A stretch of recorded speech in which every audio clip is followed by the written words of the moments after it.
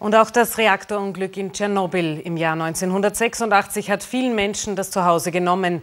Und heute noch leiden Kinder, die damals noch gar nicht geboren waren, an den Folgen dieser Katastrophe.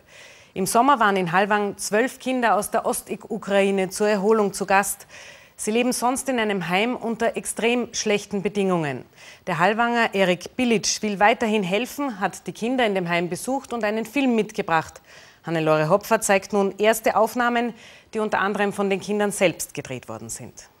Die zweite Welt, das ist der Titel des Films, den Erik Bilic aus Rubisch Neue mitgebracht hat und der morgen Abend im Gemeindeamt Halwang vorgeführt wird.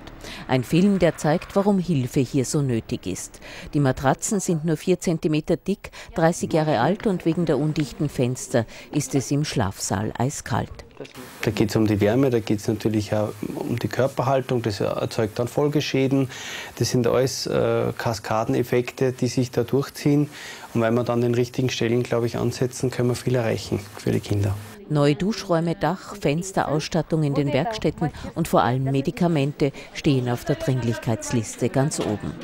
Deshalb hat Erik Bilic das Heim mit einer Hausapotheke ausgestattet und ein 2500 Euro Depot hinterlassen. Es war eben so früher vor der EM, dass für ein Kind pro Jahr 8 Euro zur Verfügung, zur Verfügung war für einfach die gesamte Versorgung für ein Jahr.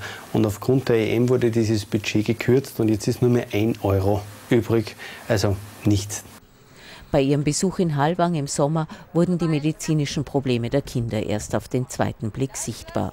Tschernobyl-Aids schwächt das Immunsystem und die Auswirkungen einer 650 Hektar großen Chemiefabrik in Rubisch-Neue waren auch für Erik Bilic fühlbar. Es ist ein ätzender Gestank in der Luft. Ähm, man, man, der Staub ist überall. Im Film können die Hallwanger morgen sehen, was mit den Spendengeldern passiert. Und sie sehen die neunjährige Vira, die nicht erblinden muss, weil sie im kommenden Sommer gemeinsam mit Freunden zu einer kostenlosen Augenoperation nach Hallwang zurückkehren kann.